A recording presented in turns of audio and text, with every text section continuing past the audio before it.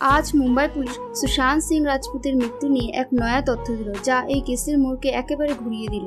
বাড়ছে আরও সন্দেহ। সবচেয়ে বড় কথা হলো, সুশান্তের বাড়ি থেকে মিলেছে বেশ কিছু সন্দেহজনক জিনিস, যা থেকে মার্ডারের সম্ভাবনাকে উড়িয়ে দেওয়া যাচ্ছে না। ঘটনার আগের দিন ফ্ল্যাটের সিসিটিভি কার্যকারী না থাকলেও আশেপাশের দোকান ও অ্যাপার্টমেন্টের সিসিটিভি খতিয়ে দেখে মুম্বাই পুলিশের কাছে এক চাঞ্চল্যকর ফুটেজ ধরা পড়ে। হ্যাঁ বন্ধুরা, খুবই চাঞ্চল্যকর তথ্য। কি ছিল সেই সিসিটিভি ফুটেজে? তা জানতে ভিডিওটি স্কিপ না করে পুরোটা দেখুন। সম্প্রতি নিজের ফ্ল্যাট থেকে উদ্ধার হয়েছে সুশান্তের মরদেহ। প্রাথমিকভাবে মনে করা হচ্ছে তিনি আত্মহত্যা করেছেন। এই নিয়ে চলছে তদন্ত। তবে ভারত জুড়ে এখন সুশান্ত সিং রাজপুতের মৃত্যু নিয়ে একটাই প্রশ্ন, আত্মহত্যা না খুন?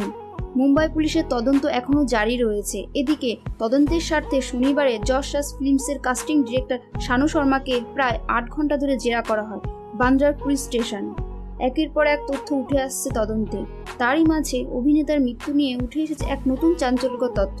ঘটনাস্থলে পাওয়া বাথরুম বেল্ট দিয়ে সুশান্ত নাকি প্রথম গলায় ফাঁস লাগানোর চেষ্টা করেছিল, কিন্তু তিনি ব্যর্থ হন। দ্বিতীয়বার সবুজ কুর্তায় গলায় ফাঁস দিয়ে শেষ নিঃশ্বাস ত্যাগ করেন। অভিনেতা যে সিলিং ফ্যানে ফাঁস লাগিয়েছেন, বিছানা থেকে সেই ফ্যানের দূরত্ব পাঁচ ফুট সাত ইঞ্চি। একজন পাঁচ ফুট দশ ইঞ্চি মানুষের কি করে কম জায়গায় ফাঁস লাগিয়ে ঝুলে পড়তে পারে? এই নিয়ে গভীর ধন্দে আছে মুম্বাই পুলিশ। এদিকে গত রবিবার সিসিটিভি ফুটেজ মুম্বাই পুলিশকে একেবারে চমকে দিয়েছে।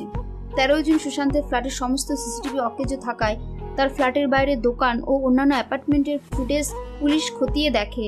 সেই ফুটেজে দেখা যায়, অভিনেতার মৃত্যুর কদিন আগে থেকেই দুজন সন্দেহভাজন ব্যক্তিকে ফ্ল্যাটের আশেপাশে ঘুরতে দেখা যায়।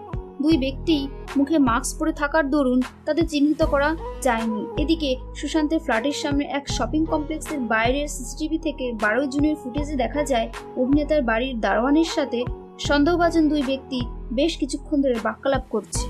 এই অপরিচিত দুই ব্যক্তিকে বেশ নামি ইম্পোর্টের কার থেকে অভিনেতার বাড়ির সামনে নামতে দেখা যায়। অত্যন্ত আশ্চর্যের বিষয় হলো, এই দুই ব্যক্তিকে সর্বশেষ তেরোই জুন রাত এগারোটা নাগাদ সুশান্তের ফ্ল্যাটের গেট থেকে বেরিয়ে আসতে দেখা যায়।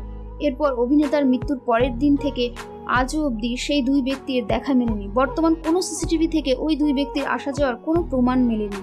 তবে কি এই দুই ব্যক্তির সাথে সুশান্তের মৃত্যুর কোনো যোগসূত্র আছে? কে ছিল এই ব্যক্তি? কেনই বা অভিনেতার মৃত্যুর পর আর তার দেখা মেলেনি? ওই দুই ব্যক্তি কি তেরোই জুন সুশান্তের পার্টিতে উপস্থিত ছিল? এ সকল প্রশ্নই এখন মুম্বাই পুলিশকে ভাবাচ্ছে। তো বন্ধুরা, আপনাদের কি মনে হয়? কেন এভাবে খুন হতে হলো তাকে? আপনার মতামত জানাতে অবশ্যই ভুলবেন না। এরকম নতুন নতুন আপডেট পেতে অবশ্যই চ্যানেলটিকে সাবস্ক্রাইব করে বেল আইকনটিকে হিট করুন। আর ভিডিওটি ভালো লাগলে বন্ধুদের মধ্যে শেয়ার করুন।